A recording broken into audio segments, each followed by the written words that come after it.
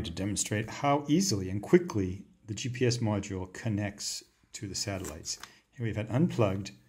The antenna is hanging over there indoors. We're all indoors, near the window, but indoors. We plug it in and it's flashing once, twice, three, up, oh, and it's connected. There you go. And if we look at our little monitor now,